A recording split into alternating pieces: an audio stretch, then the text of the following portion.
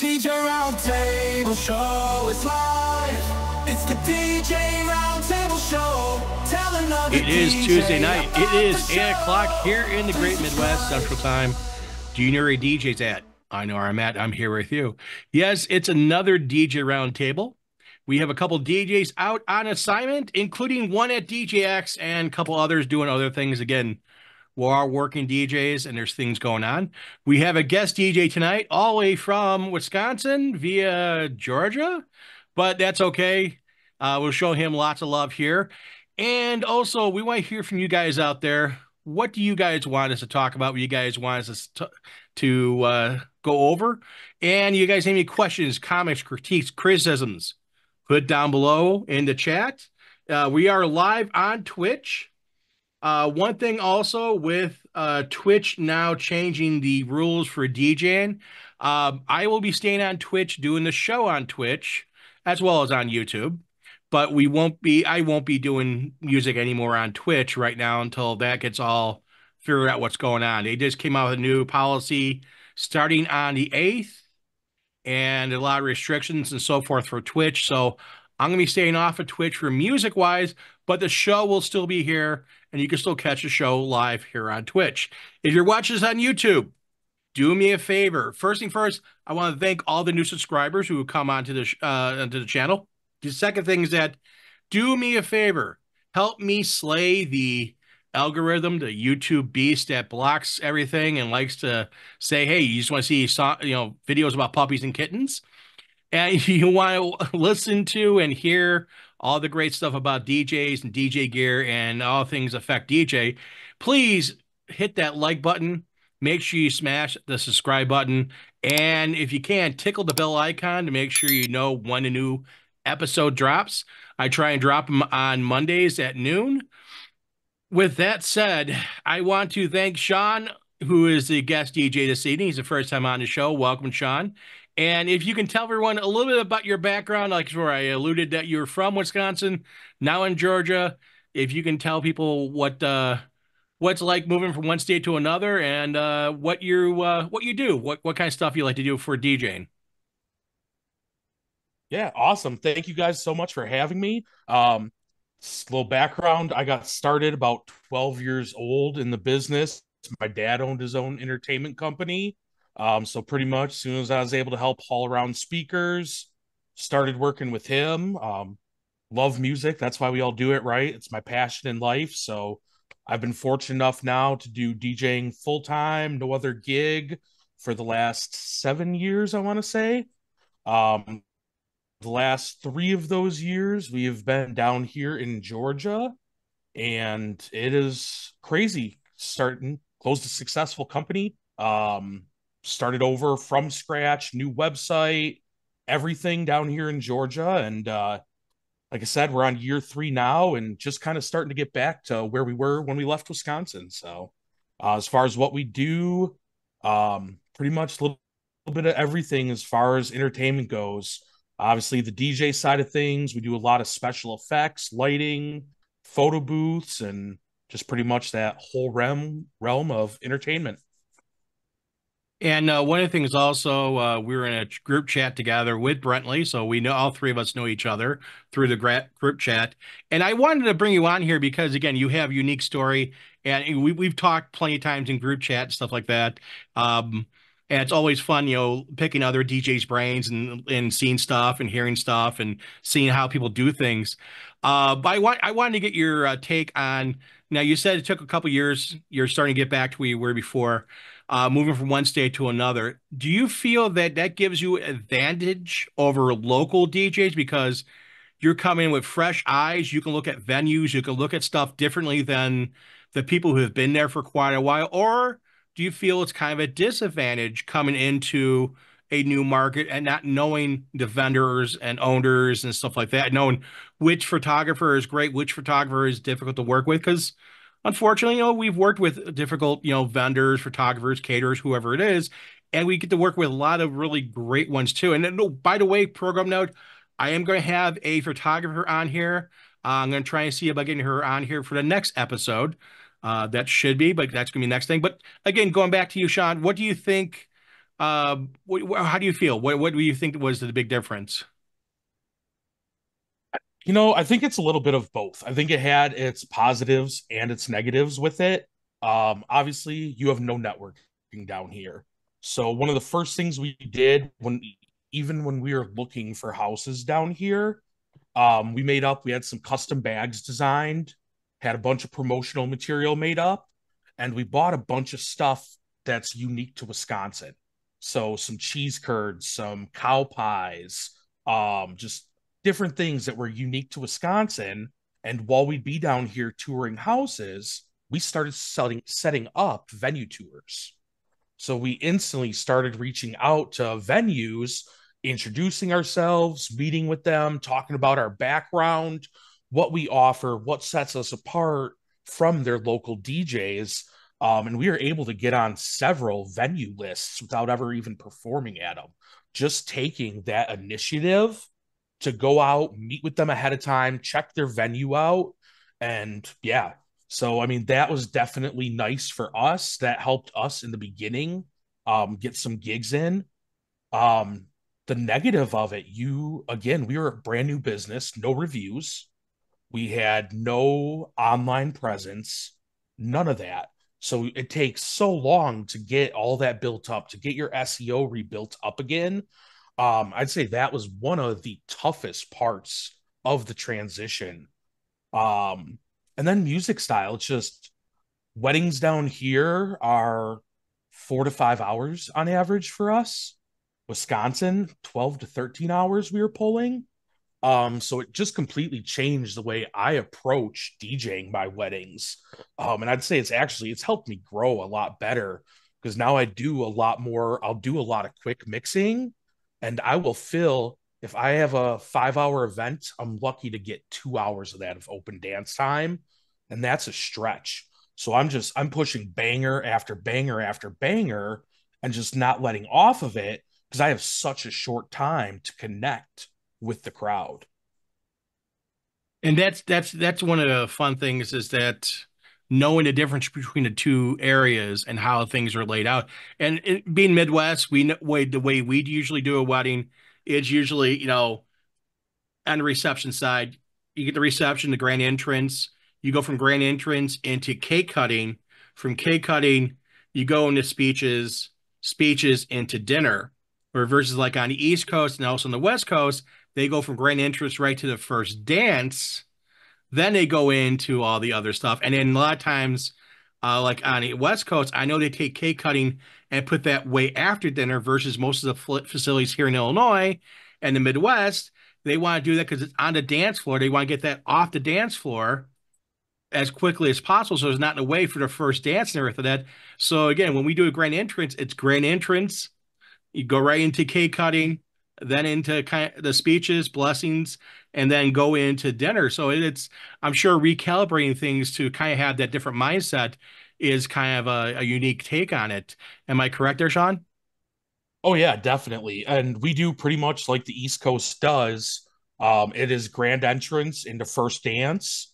Sometimes we'll knock out father, father, daughter, mother, son right away, and then go into our blessing, our meal, and then it's having cake cutting after the meal. Speeches are back in there before after cake cutting, depending the timeline. Um, but you're definitely you're knocking most of your stuff off early in the evening, which I love. I love getting all of those formalities out of the way. So when dinner's done, it's time to party. And that's even my approach for my dinner mixes. Um, I used to not mix a lot during dinner time, and I've totally changed that up. And now I'll use the last half of my dinner. And that's when I'm playing a lot of your older wedding bangers and getting a feel to see what's resonating with that crowd during dinner time to then know what I'm going to open my set with when open dancing starts. So yeah, it's it's literally completely changed the way I approach events. And that's the thing of looking at things differently than what you have in the past. And like one of the things I do, I just I I've been doing it for a long time, is that later half of dinner is doing more. I can't say aggressive, more up. I always do upbeat music throughout dinner, but usually it's slower in the beginning, and then get into ramping up to a little bit more faster. Like one of the things I've said before, Sweet Caroline, hard song to dance to, people love it. I'll throw it in the back half of dinner. You know, you know, basically yeah. right before dessert or something like that is served. Throw that in there. That way it gets off, you know, the playlist. People love it. They sing along. If you got, you know, depending on the crowd, that's amore stuff like that. People that, that you know they can kind of interact with it, and you know if they they want to kind of dance a little, they can but a lot of people ask for those songs. They look for those songs. You know, like you know, even like Brown Eye Girl, and you know, Brown Eye Girl. You know, again, some people don't like it, some people like it. It all boils down to what the crowd is doing, plus what the couple want to have for music wise. But if you knock out some of those older favorites, you know, Aunt so and so, Uncle so and so, mom, dads, older siblings, older relatives, the older people there they're enjoying it. They're having fun. The younger people are hearing it now. and you're not wasting, you know, time in a dance floor. That way you can kind of get still give play the older stuff in the beginning and have people having fun and take them on that trip, that journey throughout. But you're also having them, you know, again when people leave uh, later on, usually the older people usually leave earlier. They walk away with great sense of music, and then that later half of the night on the dance floor you can have those stuff that you know the younger group likes to have. You know, you can get into you know the fun stuff. You can get into uh, a lot uh, newer stuff uh, that's you know a little bit more different than the beginning half. You know, so it, it's it's one of the things I really feel that's a great balance to do with dinner uh, music is having that less half of dinner is having that uh, music in there. And I, I, give you kudos for that because that right there is what I do. And that's, I feel it's a very, very smart thing uh, for that. And uh, was Brentley turning lights off? He's doing Morse code. I think he heard SOS, something. SOS. No, help, help. I'm trapped in Wisconsin. Help. Sorry, I had to take a call from Legends. Uh, no problem. I, I, I thought maybe your daughter yelled for you. Um, but yeah, so uh, in retrospective, um, are you happy you moved from Wisconsin down to Georgia? Oh, that is a great question. Um, I am. It, if you would have asked me a year ago, I'd have told you, man, I messed up. Should have never left Wisconsin. Why did we give that business up? Uh, um, to now where bookings are rolling in steady. Um, we're busy pretty much every week right now. Um, even like right now, summer's kind of a downtime in the South because it's so hot. We're still doing four events a month right now. Um, so yeah, right now, great decision. I'm glad I'm glad to hear that. I'm glad to hear your success, and I'm glad to have you on the show. Sean, welcome to the show. Uh, hope to have you on here some more because it's great insight you have. And uh, again, you compliment all the other great DJs that we have here. And I, I want to go over to uh, actually one half of the power couple in Indiana and ask you, sir. um, I know I only give you half an answer. You don't have an answer? Oh, I said I can give you on. half an answer. okay. But I, I know that again the market's different um from our area because again you're in the chicagoland area it's different from like wisconsin or you know southern uh, northern wisconsin or you know uh, central indiana have you ever traveled for a gig you and your wife or has she ever traveled for a gig you know of and what was your experience traveling to another if you did travel what was your experience traveling to another market and doing a wedding in another market I wouldn't say we traveled really out of the market. The furthest we've gone is probably Lafayette, which is only 80 miles. Was that so, different uh, though? Was was there more a different feeling there in Lafayette versus your side of Indiana? No. Um, and as you explain your region, it sounds very similar. We do go into or lately couples and venues have been set, suggesting going right into the first dance right after grand entrance but other than that, it's pretty laid out. It seems like the Midwest kind of does do it all the same, at least in our area. Because even when brantley describes a lot of times, it seems like it's the same. But then, as we see, like with Matt and Sean, it is completely different. Would you uh would you uh would you object for someone to say, "Hey, let's I want you to DJ in Iowa or I want you to DJ in Ohio or in Pennsylvania." Would you go out there? Yeah. For the right price. Well, of course, you know, they, I'm expecting But you to do it for yes, free. yes, I I would uh I would like that. I wouldn't be opposed to that. I'm always for something different. Okay. So you you have no problem whatsoever going out of the, the market and going into another market like Detroit or uh Cincinnati or down to Columbus, Ohio or something like that or I know Indianapolis, Indianapolis is what, an hour and a half from you? Indianapolis is about three hours. But Three yeah, hours? uh I would go there. I've done a bar gig in Indy once, like when we first started because of a friend, but That's a It- heck of a travel. it was it was not my gig. I was kind of there to assist. Uh, I had a friend who lived down there in college. ah, But yeah, okay. it's about three hours.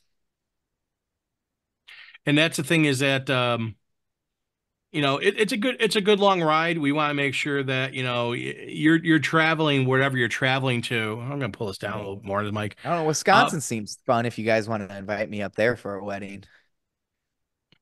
It can be fun. I mean, drinking is the Come to state's the pastime. come to the bar. Yeah. There's a bunch of quivering livers in Wisconsin. They should change it from uh, the land of uh, uh, America's Dairyland to the land of quivering livers. Uh, so, Sean, I gotta ask you this question: since uh, you're the transplant, do you see more drinking down in the South or back home in uh, in Wisconsin? I would say 80% of my weddings down here are dry. No alcohol served. Um, and I think that's kind of what plays in to the shorter weddings down here. If you don't have that alcohol, you're not getting into that party mode. There's no reason for that three, four hour reception. Um, so I think I think the alcohol plays a big factor, and I'll say that's the one thing I miss about Wisconsin weddings is the party aspect of it. Wisconsin weddings are lit, man. That's the best way I can use to describe it. They things get wild in Wisconsin, especially when you start pushing that midnight hour or later. Um don't see that down here. I don't have guys ripping their shirts off out on the dance floor anymore. Um it's just a lot more conservative and a lot more religious when it comes to weddings because we are in the Bible Belt. Very understandable. But I know Brentley has had a few weddings I mean, where people drop pants. here, Sean could probably attest to this. In a Wisconsin wedding, if a guy hasn't ripped their shirt off, if there isn't somebody puking in a garbage can at the end of the night, as a DJ, we have to ask ourselves what we did wrong. Because Oh yeah. 90% of my weddings wind up like that. I mean, it, if they don't get that route, I mean, there are exceptions. Like if I know I'm getting into a very theater Christian based wedding, I'm willing to do do it because it's theater based, and I know they're all going to be into a certain kind of group of music and not be heavy partiers. But because they're theater singers and all that, they're going to get down singing and doing their theater stuff on the dance floor.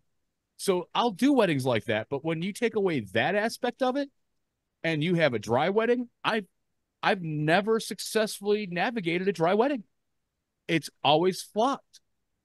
Every single, and I've only done a couple, like three of them in my entire, you know, wedding career, but all three of them were just awful. So more power to you to be able to pull that off, because I would be losing my mind. Indiana's so wishy-washy. It, it's either you're ripping off your shirts or just the most boring wedding ever. It's there's like nothing in between. I, I gotta get, I gotta Wisconsin get, weddings are long, Boring too. weddings up here. I gotta get, uh, I, I Oh, gotta get Jordan and Taylor to come to one of my weddings and uh, have them hang with me on one of the days they're open because uh, some of the weddings I have are pretty interesting. The the last, uh, not the last one, one before last, that ended up with uh, guys taking their shirts off. Um, second to last song because of the song itself, and that was uh, song goes back to them for college. But I I will say that there's some pretty good amount of drinking at uh, most of the weddings I do. Um, we do get you know sometimes some of the little little sloppy stuff, but most of the time people are you know they they're they're toasty. Uh, not as crazy are in Wisconsin or not on uh, Code Blue Cam. You know we always talk about that. Uh, that's more or less, I think, not that people going to the wedding or at the wedding for uh, Brentley, but that people just in La Crosse in general, uh, they have a lot of uh, uniqueness up there. And um, I don't think it's, It's just alcohol. It's, So it's not just La Crosse. Honest to God's truth, if you take you can take Milwaukee and Madison out of the Wisconsin equation, and everywhere else I've done a wedding outside of those two cities in Wisconsin have been always are 90 like I said 99.9% of the time just absolutely nuts. Even the one I did at like Green Bay Distillery during the garter toss, the groom was stripping before he went down to get the garter belt off. And I'm like, and you would think, even in Green Bay being the more working class city, but a big city, they would, you know, take some of that Milwaukee and Madison motif and be like, no, we can't have any of that. Because there's a venue up here like in Madison, Sean's probably done it, the Fields Reserve.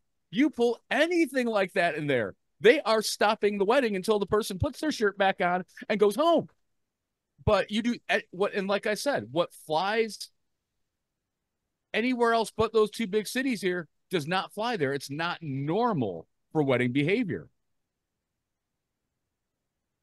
and that's that's the interesting thing. I know Tommy, you've you've done some time in, in the great state of Wisconsin doing some gigs. Plus, you do gigs down here in the Chicagoland area. Um, what, what what do you know? It's a big difference when you're up there versus down here. Besides the drinking level, what else do you ever notice between uh, one area and another area? Uh, I mean, from a bar perspective, playing at some of these spots in Wisconsin, I I would say they're more fun. Like people are just out to have more fun compared to uh in Chicago. I don't know if it's just because of more drinking or what it is, but like I definitely feel like all the spots that I've played in Wisconsin are like very high energy. Like people are always singing, like they want to be out there having a good time. And then like in Chicago, a couple of the spots I've played at are more uh like low key people more just socializing amongst their friends rather than like being amongst like a huge uh dance floor. So I don't know, that's something I've noticed. But then uh also too just like there's big variations from city to city. Like I've played in Milwaukee, I've played obviously I play in Green Bay all the time. And then like this last weekend I was out in La Crosse at uh Legends where Bretley is always at. And um, like there's differences from city to city. There's some songs that work better in some places, like some crowds react differently to uh the way that I play. Like if you're using the mic, if you're mixing a certain way, like there's things that you pick up on as you continue through your set, and then you kind of base the rest of it off of what you what you observe. And that that's that's one of the things that is always interesting. I know one of the DJs that listen to this on as a podcast, um, he is in um, Pennsylvania, uh, basically New Jersey, Pennsylvania area, but he does a lot of gigs back toward more toward New York City area. And I, I, I next time I see him, I gotta ask him, is there, you know, because he's done a lot of uh gigs out in his area where he moved to, but he still once in a while has to do them, you know, further east. Has does he see a difference between the two areas? Because you have a more rural area where he's living now, you know, he's he kind of living in more of a relaxed area versus when you get closer and closer and closer to a major metropolitan area.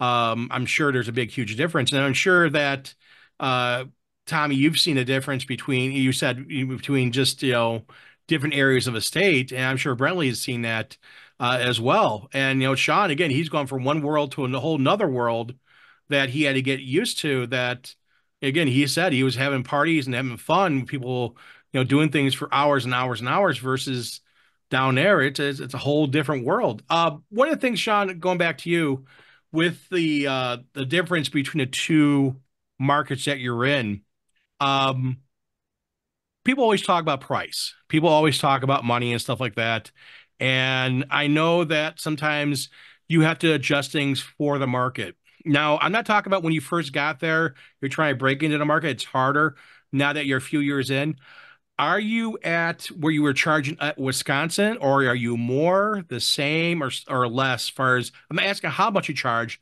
but if you had to look at you know dollar for dollar if you charge x in Wisconsin? Are you charging X in Georgia, or you charge a little bit less? You charge a little more. What did the market change now that you're settled there in uh, Georgia? Yeah, so I just got done actually doing our 2025 sales guide for clients, and my pricing going into my 2025 sales guide is the exact same as when I left Wisconsin. But again, it took me three years to get back up to that point where I was at. Um, and I'd say another big thing down here is a lot of people are not getting that rate there are a lot there's a lot more competition with Atlanta. You were talking the amount of DJs that are down here is far superior to what was in Wisconsin. Um and you see all the time you have tons of DJs biting at a lead that's trying to pay $500 for a wedding. And a lot of that just goes into knowing your worth and knowing that there are clients out there who are going to pay your rate. Um, so there's definitely there's a big big margin in the market down here. Um and yeah. And that's one of the things also I, even like here in the Chicagoland area again I got two other DJs here in the Chicagoland area both Tommy he's originally from Lisle which is not far and you know actually three uh four D uh four D um four DJs total including myself are Chicagoland Taylor and Jordan they're both just in Northwest Indiana across the border um, the four of us, you know, again, we know each other. Uh, we've talked to each other.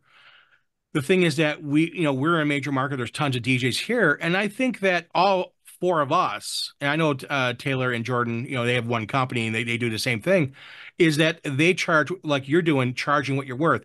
Yes, there's always going to be the cheaper DJ.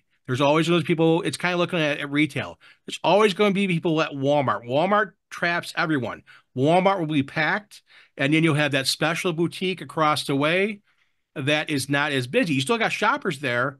They're a higher price, and that's a clientele that you should be looking at. Is that clientele is going to pay you what you're worth? It, you, if you want to get in that battle, and I tell I talked about this to other DJs, if you want to get in that battle, the race to the bottom, be the lowest you can do that if you want to. That's your business. You could charge whatever you want to. You want to charge a dollar for a wedding, you want to charge a million dollars for a wedding.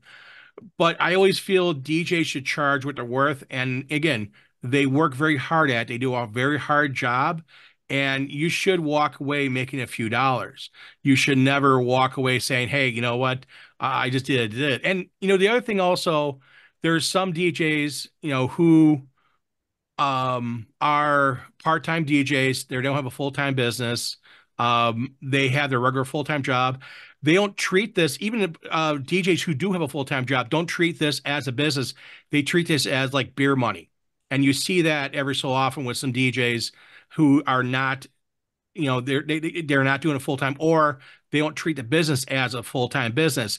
I, I know uh, Jordan Taylor, they have uh, other stuff going on, but they treat their business as a business, and that's why they're successful at it. Um, and you know, Brentley and I do it full time. You do it full time. It's difference in mentality, and I think there are DJs out there. Uh, uh, you know, I'm a, a minority, uh, but there's a, quite a few of them that you know they go out and they, they charge you two hundred dollars because they're making so much money in a regular job. They just look at, hey, I bought some gear. I'll go DJ this this party or this wedding. I could charge three hundred dollars. It's just beer money for me, and that's the difference between those like weekend warrior DJs that are more of a um they do it for fun. And again that's that's great if you want to do that but you don't have a business versus we have a business. And i think there's a there, there's a difference between the two. And again there's nothing wrong with that. If you you know you're doing stuff you're having fun with it hey great. But the thing is that us as a full-time dj looks at and goes okay if they want to do that, they want to market themselves as the you know this DJ does that. God bless. There's plenty of people out there. Even in the market that's saturated, there's always difference between DJs. And I think really feel that if you differentiate yourself from your competition and show why you're different, hey, I do this, this, and this, versus everyone else here does not. I think that really helps just have you as a standout between what you do and what other people do. And that's a big thing and I'd like to just chime in again on kind of that point. Um, when you're starting so low, say people are looking for $500 DJs, you come into the market at say 795 or something, the clientele that is looking for that DJ is price shopping. So I think that actually leads you to less bookings because then they're just going to take the bottom of the barrel because they are concerned about one thing, and that is price. When you up those prices and you get into the higher clientele, price isn't what they're looking for. Obviously, everybody has a budget, but that's when they're really going to start looking to see what it is you bring to the table and if you are the right fit for them and it's not just about do you fit my budget um so that's that's just one thing i've noticed throughout the years of changing my price around um and i think we get actually better more qualified leads now being at that higher price than when we were competing with the i say bottom feeders um when we first I wouldn't I wouldn't call them bottom feeders. I would just call them. I would call I would call them a budget DJ. And again, yeah, and not, not sound bad. We have Hunter is more of a lower price, a lower price DJ. He has a because of his market, his area. He charges what he feels is best for him. And nothing against Hunter. It's not he's a bottom feeder. It's just that again, he wants to charge a certain rate and charge a certain price, and that's great. He wants to run his business. He again, he could charge a dollar. He could charge a million dollars it's his business to run and do that. Again, as a uh, is Hunter a competition? You know, to me, no, he's not in the same market. But if he was my next door neighbor, he would, you know, he technically he would be my competition. First thing first, I would make him my friend because I like the guy. That's why he's on the show. He's a great guy, just like you, Sean. If you're my other neighbor, I'd make you my friend too. and, and just like you know, Jordan, just like Taylor, just like everyone, uh, Tommy, I like making friends, and everybody knows that, and everybody sees that. It's it's great. But the thing is that when you um when you go do stuff and you you look at those lower price DJs, again, they're doing what they feel is best for them. Do I want to do the same thing as them? No. And again, I, I totally agree with you. And again, I wouldn't call them bomb feeders, I'd call them the more lower budget DJs. And again, there's high end DJs that are charging twenty, thirty thousand dollars, and they'll take a you know a room and put this big truss up there and huge LED panels and all this other crazy stuff, and charge six, seven, ten grand for in quinceanera or for a wedding, and they do all this crazy stuff. They have a staff, they bring you know a bunch of trucks with lifts. So it all boils down to what you want to do. And again, and those clientele who want to do the million dollar wedding are smaller than the, D, the DJs who want to do you know the bigger weddings. And we just lost Hunter. Um, but the thing is that with anything like that, you always want to look at what what people bring into to bring to you. And again, Hunter, who again it's a it's a lower price DJ, he brings something here because again, there's DJs like him. And again, I, I don't I don't blame him for what he charges. I I I, applaud him. I don't blame any DJ what they charge. I applaud every DJ here. And again, you need to make it work. And I'm glad to see Sean that it works for you in your business and you have a plan to go against your competition. And that's the other thing a lot of DJs don't have is how do I compete against other DJs in the area? And not, and not just friendly DJs like, hey, you know what, dude, you want this? Uh, I, you're you have other competition that are DJs to do whatever. I do this. How do I compete against them? And I'm I'm glad that you know you say that. Um, I'm glad that you're you're you're doing good too. Um, cool thing, Hunter. I know again, like before, I know that you're more of a budget uh, friendly DJ. When you do stuff, uh, when you look at stuff, have you ever DJ'd in another market, or you just DJ there? I know you do a lot of friends and family, but have you done anything Yeah. like Oh, in North yeah. North Dakota? Mm, nah. No. I mainly stick with family and friends only, and um, being a fellow, you know, East Coast DJ, I have seen people take their shirts off at a wedding because they got too drunk because we have an open bar. We're down home country rednecks here in Conway, and yeah, it's quite different between here and then, you know, Georgia because, you know, we're on the same coast. So yeah. And of course I did I do charge a little lower price, 50 an hour. And it's been the same way since I became a DJ in 2018. I haven't done a wedding in like three years or two to three years since 2021. So it's been But you got some gigs slow. coming up, my dude, and you you've done other gigs. only one. Only one. Not until That's one more than zero. end of September. Yeah, the end of September, I got a wedding. It's going to be a a wedding for a friend of mine from school, and she's getting married on the 29th at the Blessed Barn, where I've DJed before, and hopefully we don't make the same mistake with technical issues. You'll work Then, through it. I uh, know you will because you are you are a great DJ and you are very prepared for stuff. Now, one of the things it- also, um, Sean, how far are you away from Conway, uh, uh, South Carolina? South Carolina. I have no idea. I mean, I'm in the just a little north of Athens, so you might have a little better insight. How far is How Athens I from you? from you? Cool thing, Hunter. He's got to Let look. That, that's what I'm doing right now too. Yeah, I gotta look at my map. Uh, it's about five hours. Five Yeah. hours. Okay. I thought maybe you're a little closer. Maybe one day you guys could hook up and have lunch together. I was gonna say, if you ever do, if you get a chance to be in there and you want to hook up with, with Hunter and uh, have a, a talk with him, he's a great guy. Uh, the one thing he likes, I will tell you two. Oh, I'll tell you two things he likes. One, he likes coffee, Dunkin' Donuts. You know, you make sure you get him. You know, uh, you take him meet him at Dunkin' Donuts and give him a coffee. And the second thing he likes is talking gear. He's a gearhead. Love it. So if you like talking gear like that we do here in the show, and you want someone to talk to, and you don't mind spending a, you know a little bit of a ride and getting a cup of coffee, Dunkin' Donuts is the place to go. And then you know it's it's you know buy him a coffee, and you guys can talk about gear. He will tell you all about his Mixstream Pro. He will tell you about his speakers he uses, and he's very proud of what he does. And uh, I, I don't know if you're subscribed to his YouTube channel. Uh, he's a great guy, has some great YouTube content, and it has stuff. And if you guys out there have not done so already, subscribe to his channel. Go over there. All the links are down below for everyone's channel here. I still try and get uh, Taylor and Jordan to uh, do a YouTube channel. Uh, hopefully, they'll be doing that sometime soon. And uh, Jordan, Oh, Jordan just ran away. Yeah, I want to add something to it. Like with ahead. When when I do a wedding, yeah, it's kind of like similar to Georgia, where we get like the ceremony first, we do our formalities.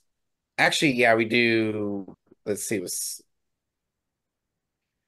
oh, I lost my train of thought. We do ceremony, grand entrance, dinner, cocktail out what cocktail hour dinner. We do our formalities, then we do the open dance. And down here, we like country music, a little bit of hip hop, we like a little bit of everything. We even like some of the more modern country music, like Jason Aldean, Luke Bryan, all that more modern country stuff. Hardy, And that- Hardy's been a great one for the country dance floors. Yeah. And that's the thing is knowing your music too, because every area is a little different. And I can see, you know, down in, in Georgia, I can see if you're getting closer to Atlanta, I can see more pop, hip hop, and we're a little more rock. But if you're down, you know, you're out a little further out in the sticks, you know, out in the farm country, you're probably dealing with a little bit more country and and older rock. You know, you're doing like 80s, 90s rock, you're doing some of that fun stuff. And again, knowing your clientele, working with your client on music, that's the important stuff. Um, I'm going to go back to uh, Brettly here for a really quick one.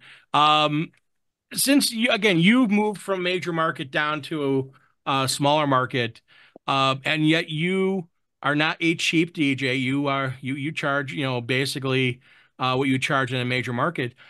What do you feel your biggest disadvantage is being expensive in a small market? honestly, I don't want to sound arrogant, but there isn't one. There, honest to God, isn't one. And yeah, seven years ago, I was I was one of the DJs charging six seven hundred bucks for a whole day to make sure I paid my bills. But now that I'm in this position where I'm, I think I am the high one of the highest priced DJs in the state, if I'm not mistaken and definitely the highest priced DJ in my market. One, and when I say there, it's one for starters, every lead that comes to me is qualified. And it's my response, my job at that point to make sure I book them or and sign the, lead. And if I'm not, then I'm doing something wrong. And part and parcel with that, because of how much I'm charging, people also one value their entertainer and their entertainment and know the quality of what I'm going to produce for their day is not going to be anything close to that $500 DJ. So we're not competing with other. They're not that 500 DJ, a thousand dollar DJ's couple is not my couple. Can I DJ their wedding? Of course I can. And are there times that, you know, if it is slow or going into the slow season, well, I cut a few deals. Oh, you're damn right. No questions asked, especially if it's at a venue I love to be at or a venue that's literally a three minute drive from my house and it's only a five hour day. So I'm willing to work with couples and all of that. But 90% of my weddings are easily 17 1800 dollars and up and they those couples understand what the dj brings to the table what are not and it's not just based on oh you use rcf speakers woohoo your atypical customer doesn't care what brand of gear you're using across the board what they care about is your customer service, your attention to detail, making sure every aspect of the day that you have your hands involved with operates perfectly. And if something goes wrong, yours or somebody else's fault, you're able to not just recover, but make it go seamlessly without anybody knowing. So, and that's what couples are willing to pay 1800 to like like I said a couple weeks, I've signed my biggest package a couple weeks ago at forty six hundred dollars for one night, and they were very. They're like the reason we want you. We want you doing the EDM club thing from ten o'clock until two a.m. at our wedding. Cool, and they've got me booked for sixteen hours that day. Like when I say sixteen hours, I'm my ceremony starts at two but with everything they want, and they ordered the big light show and everything else with it. I get me and the I'm actually bringing an assistant on for the first time ever for this wedding, but I'm going to be on by like 9 30, 10 a.m. and I'm not going to leave until three or four in the morning easily. So, hand in hand with that, they know what they want. And that is my ideal perfect customer. They say, you know, and most of the customers that will reach out to me on my site will go, We want your silver package, but can you add cold sparks to that? We want your bronze package, but we want uplighting. They know what they want out of me and they want me. So it's not, you know, necessarily the gear at. Did he freeze? I think he froze. All right. He, we'll give him a second here. There you go. Am I back? Okay. You, are back. But yeah. Now, uh, Oh, he froze when again. Mitch Taylor got in my head that it's not about your gear. You keep freezing. Uh, really quickly, uh, have you seen more places saying no to cold sparks? Sorry. Oh, no problem. It's interwebs. Interweb gobs are mad for whatever reason. Uh, have you seen more and more places saying no to cold spark? Oh yeah. All right, all right, Tommy. Go ahead. I'll see you later. Are you safe? No. See you later, Tommy. Down here, I'm seeing more and more places saying but no to cold spark. want the venues that are allowing cold sparks, one, no matter what, I touch base with them to make sure they haven't changed the rules. And two, I will ask the venue manager, what extra insurance do I need for you to operate those in your venue for that day? As soon as I have that, I am on the phone to my insurance agent getting an update for that one day. And yeah, my insurance did, my rates did go up a little bit this year but I think it's because of how often I'm actually tapping into them. I need a I need a rider for this. I need something for this day. I need you to add an extra million dollars and include X, Y, and Z corporation. So this is th- this yeah, is so why having an insurance agent. This is why having a good insurance agent is important to have because when you call him or her, in my case, a her, uh, and saying, "Hey, I need this, this, and this, this," it's good having a hotline. And uh, Jordan, are you seen by you? Uh, you know, again, I know you do this in the south suburbs, um, and you with Indiana. Are you seeing a lot of places saying uh, more and more places saying no to cold sparks, or are they, are they so cool with cold sparks? Honestly, I have no idea. I have never been asked. Okay, I've been asked one time to do cold sparks. I don't have any, and uh, anyone I've worked for have only we've ran them once for someone else. Um, but I've honestly not even really seen them at other people's weddings around here. Like they just have not come here yet. Like very few people are even asking for them. Yeah, So I, I, I. I, it's hard to say because I don't even I don't see them in any social media of any real other DJ in my area. Um, one person, yeah, like I said, I work for another DJ's, um, and he did them once, but yeah, he rented them because he didn't have any, and he, yeah, I was like, I've never been asked this before, so I just don't think they've really come to Indiana yet, or pe people don't. I don't really, I don't really like them, it's not my wedding either, so. Nope. And But that- I don't have them. I don't really suggest them. I think, yeah, we got one call one time and we just kind of told them no.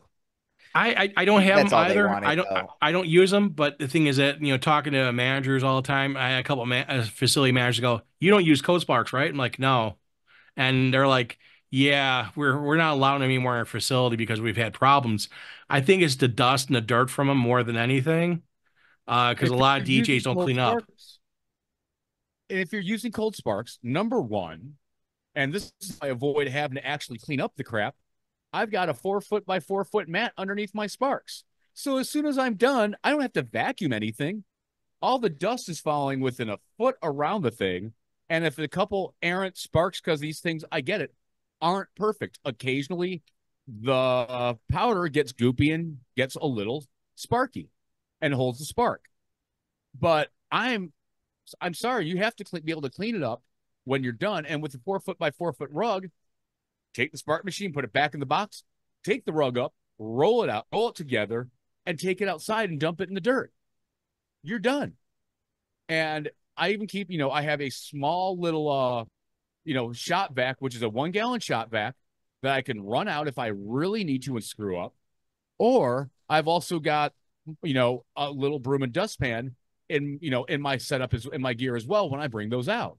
It's one of those handheld things. So I can literally pull it out the case and clean up any mess I make.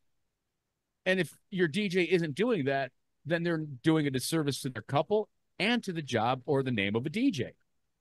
Because that's, you know, just because we're doing it doesn't absolve us from the back end of it. Just like we are meticulous in our sales process and all the back end of the work we do, that is also something we need to be meticulous with. Well, the, We do- uh, the, the other thing also is, uh, I, again, I don't have a sparkler, but you know, I I actually have I have a regular full size Dyson by the Dyson little battery operated, you know, for quick little things, especially with the dog with hair. Um, it's nice to have that to zip up little things. I think uh Jordan Taylor, you got a little stick vacuum. Yeah, it didn't last long. I have nothing good to say about it. We Oh, replaced no. the battery twice and then the motor burnt, and I only had it like two years. What what brand was it? The Dyson. Really? Yeah, the eight minute one. Nothing but bad luck. It actually uh, started smoking in my wife's hand and she kind of got burnt. Ah. Did you take it back to did you take it back to Dyson? No, Oh, see, we just got Dyson. mad it away. Dyson has repair centers, and Dyson Oh, repair centers, they will they they will move heaven and earth because I that's where I bought our stuff from, and they they take care of you.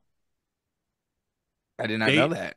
Yeah, they have repair centers. I think there's I think there's one at Orland Park.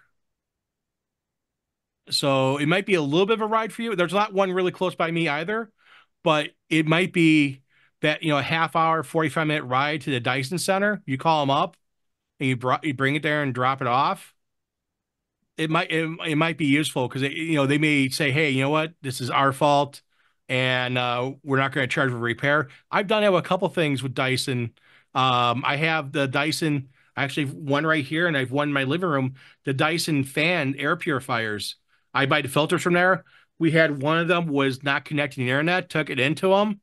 Uh, the guy had for about 15, 20 minutes, said, okay, see if this works. And that, and we've had it now. Uh, we got them in 2020 because we both, Tracy and I both suffer allergies, not because of the bad stuff, just normal allergies. And it does help in the house. It also camps down the dust a little bit with the dog fur and everything like that. But the thing is that again, I've had it now uh four years and she took it in and they're like, oh, you know, they blew it out. They went through a couple things like, okay, try it out. no charge.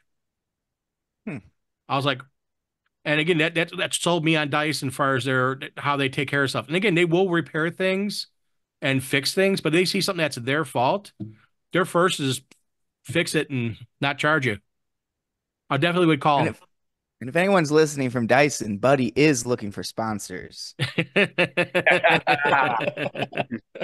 Uh yeah, yeah. I, I you guys got to remember out there in, in in the world, I do this for free. All the editing stuff you guys see before on YouTube, the music added in, po- in post and afterwards, and editing out sometimes when uh, uh, Matt uses colorful language and stuff like that. I do all that in post, so it- it's one of the things that I appreciate all you guys out there watching it, and I appreciate everyone here who's on the show. I can't thank everyone here. Uh, without them, I wouldn't have a show. And I thank everyone every every week giving up their time to come in here. Uh, unfortunately, you know, Taylor's out. Uh, she's working tonight. Uh, but, you know, Jordan's always here is solid. And uh, I know both you guys are having fun. I know uh, Hunter has fun here. Uh, Brettly always has fun. And uh, Sean, it's your first time. You having fun on the show? Yeah, man, great. And that's the thing is that we, we this is our hangout here. And hopefully, if you're listening to this on as a podcast or you're watching it on your uh, your phone or on TV or tablet or computer, that hopefully helps you out a little bit and gets you some ideas and some thinking how to do things, how to make yourself a uh, a better in the business and maybe help you grow your business. And that's what it's about. It's not about who's right, who's wrong. And again, you see different DJs on here talk about different things, different areas, different markets, different pricing. And that's what it is. It's it's it's it's a friendship. It is a brother and sisterhood. It is um, you know, the clan of the DJ, you could say, and that we're all together as DJs with um each other and having fun and just sharing ideas and talking about stuff. And unfortunately, we have a couple DJs were down tonight, but things happen, life's there, and uh, they'll be back again. And we, again, we have a lot of great insight here. Uh, I'm going to go back to Hunter real quickly. Um, and this is going to be a yes or no question. And I'm going to start with you on the yes or no question for uh, this round uh, here. And uh, it's it's a I like to do this, and Sean hasn't had this before to him because he's the first time here in the show. But I always ask yes or no question. There's no right or wrong. Does if you say no or yes, doesn't mean he's a bad person or that. Uh, but here is a very quick question for you. With it being toward the end of summer and school starting up soon, and so forth, so on, are you looking at school dances at all? Are you trying to market towards school dances? And I know, Hunter, you've done some stuff for your church with the kids and the Uh, youth groups. Yeah. Have you talked Yeah, to like yeah. the pastors about it? Um, well, not really churches, churches, but I have done a couple of school dances. Back in April, I did Carolina Forest Elementary for their fifth grade glow night, and they had a good fun, had a great time. And I DJ'd for a Christian school, comedy. Uh, I think it was Christian Academy in Myrtle Beach. They had a fun time with a whole bunch of requests and stuff. So I am, yes, I am looking towards school dances when the school year starts back up. Okay, It's good, You good. did a lock in, right? Huh? Didn't, didn't you do a lock in at a church Oh yeah, overnight? at Dominion Church. That was years ago. I haven't done one since. Yeah, I haven't done one since. I, I think you should do another one. I think you should talk to the Yeah. pastor there, you Yeah. know, or a rabbi, a priest, or whomever it is for the wor- house of worship you're nearby or you're associated with, and ask them. This is a perfect example how you can get some more business because again, school startup is right around the corner. This is the beginning of August. In some areas, the end of August starts school. Uh, in other areas, it's the beginning of September. So you might want to Yeah. put that on your radar. Uh, Jordan, for you and Taylor, have you approached any schools yet uh, for your feelers out if you do school dances?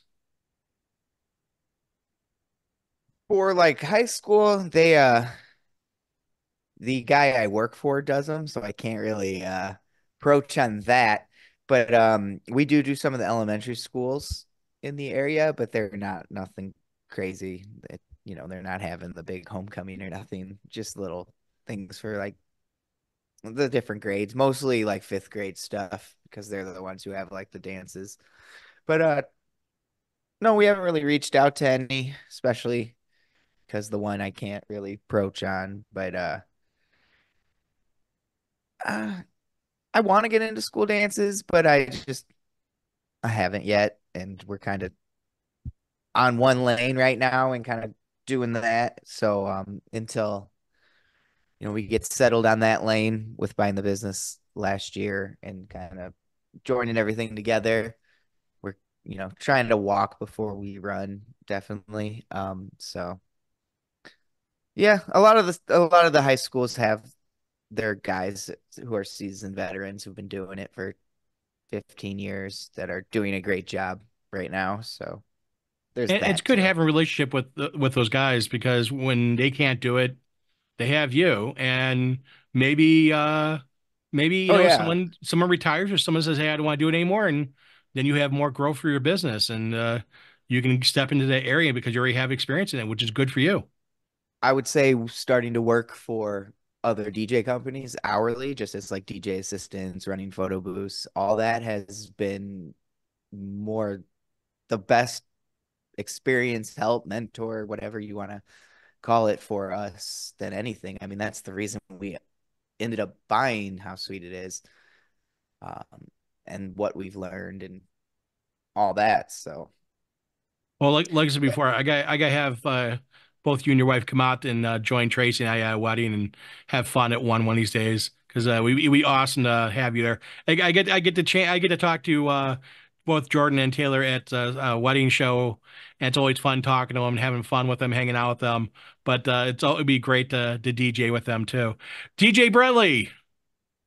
In Wisconsin, have you been looking at any, or because of the clubs and everything else, you're just don't do the schools? I do not I do not do school dances. I do not do all ages events. Period. Clubs, weddings, and weddings are the only all ages events I'll touch. Outside of doing the special needs uh, organization I devote my time to. But that doesn't necessarily qualify as dealing with, you know, high school and grammar school kids. Out of the question, I'm not a babysitter. I've got my own kid to deal with. I don't want any of the headaches that go hand in hand with prepping a set, going through the back and forth with the principal or the person running it about music. Forget all that. I have no interest. I would rather, and I don't want to sound like a cocky, arrogant person. I would rather go scrub toilets at McDonald's than DJ high school events. they could be Not they could be challenging. I've I've only done a handful of schools, and that is, uh, you know, we try to give back to local community. Uh, we don't market for schools. I don't. I don't. That's the thing. I don't market for that. Uh, but you know, we have done schools here and there. They're very very seldom, and that is because it's them reaching out to us and asking us, and we're like, you know, you're it's it's it's nice to give back to local community. As a business owner, I always feel should give back to locals.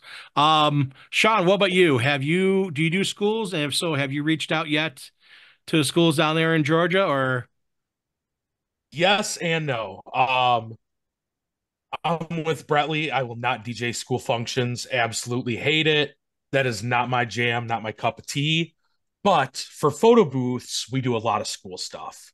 So definitely reaching out when it comes to our photo booth side of things. Um, I will not touch a school dance. You couldn't pay me enough.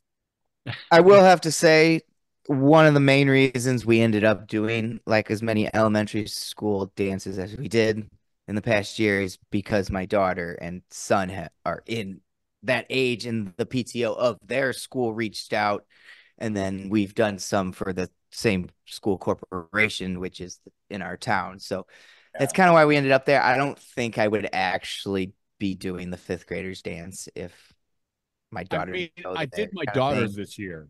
Yeah, it, But but my school knew what her school knew what they were getting into, and I'm like, I am not a kid DJ. Let's be very clear. I do weddings. got to be so clubs. careful. And so they're like, "Can you?" Do-? I'm like, "I can play a very clean wedding set, but it's going to be more aimed at the adults, not the kids." And it turned out there, and their one comment was, "Yeah, the kids ran around like you know, bats out of hell all over the the gymnasium, but all the parents were dancing, which is, again, it just shows me I'm not relatable to anybody under the age of 21." My wife's a better DJ at those gigs. But I was saying yesterday to someone, um, there's been many times where sh- she starts to play a song. I go, "You really gonna play that here?" And she goes, "It's Kidz Bop," and I'm like, "They made a Kidz Bop version of Sexyy Red," and you wouldn't believe the songs they've There is a- made into Kidz Bop songs, guys. Go take a listen. WAP is on Kidz Bop. WAP. I- I'm not kidding. Just because you B change the Kidz Bop. words does not make it still filthy. It's still the song about the filthy thing, and kids should not be singing it. Oh my god. I mean, That is that my is Yeah, 12 year old has known the lyrics to shake that since she was five years old. And I sent her back. Her mom sent her to me one day singing Talking Body from Tove Lo. Now, if we're talking, and I'm like, what song is that? So I called her mom up. I'm like, what is she singing? And then she sent me the YouTube, and I'm like, oh, that. Oh, okay, it's on now. And a few days later, when she went back to her mom's, her mom this sends me a text. Really? Dot dot dot dot dot. And I sent her singing the entire chorus to shake that from Eminem. Turnabout's fair play.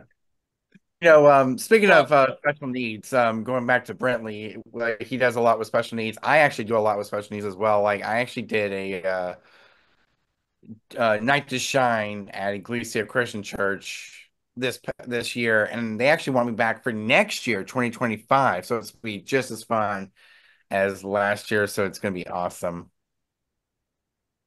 And that's the thing is that, you know, giving back, if you can give back, I always believe as a business owner that we should do that.